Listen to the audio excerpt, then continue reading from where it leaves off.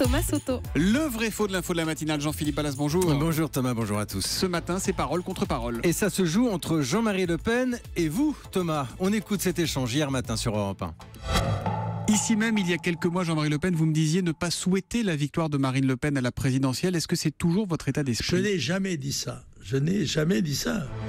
Donc Jean-Marie Le Pen n'a jamais dit qu'il ne souhaitait pas la victoire de Marine Le Pen à la présidentielle. Il était catégorique hein, hier, mais c'est vrai ou c'est faux, Jean-Philippe? Bah, c'est faux, Thomas, je vous rassure, c'est vous qui avez raison. C'était même le 5 mai 2015, en pleine guerre, au Front National. On se souvient tous de cette image.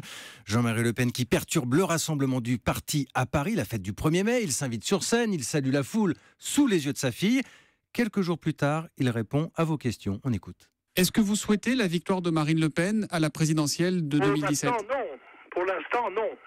Non, parce que si euh, de tels principes moraux devaient présider à l'État français, euh, ça serait scandaleux. Voilà, c'est clair, à l'époque, Jean-Marie Le Pen ne souhaite pas la victoire de sa fille. On l'entend, il met en avant des, des principes moraux. Je peux même vous rappeler que ce jour-là, il dit qu'il a honte que la présidente du Front National porte son nom. Je ne souhaite pas qu'elle s'appelle Le Pen. J'ai bien tout réécouté. Mais ce qui est intéressant, Thomas, c'est que cette position va évoluer au fil des interviews. On retrouve Jean-Marie Le Pen à la fin du mois d'août, toujours sur Europe 1, invité cette fois d'Olivier Duhamel dans Mediapolis. Le ton n'est plus du tout le même. Si Marine Le Pen est fidèle à la ligne du Front National et à ses fondamentaux, je souhaite vivement son élection qui me paraît être une des chances dernières de notre mouvement et de notre pays d'échapper à une décadence mortelle. Si elle est fidèle, je souhaite son élection. Vous n'arrêtez pas de nous dire qu'elle n'est pas fidèle, donc vous ne souhaitez pas son élection aujourd'hui. Dans l'état actuel des choses, non. Bon, alors cette fois, c'est d'abord oui, puis finalement non, mais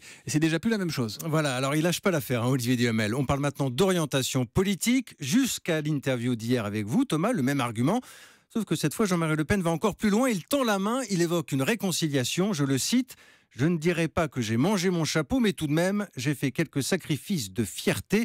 Et ceci dans l'intérêt commun. On mesure tout le chemin parcouru. Le vrai faux de l'info de la matinale avec Jean-Philippe Ballas, c'est tous les matins à 7h40 sur Europe 1. À demain, Jean-Philippe. À demain.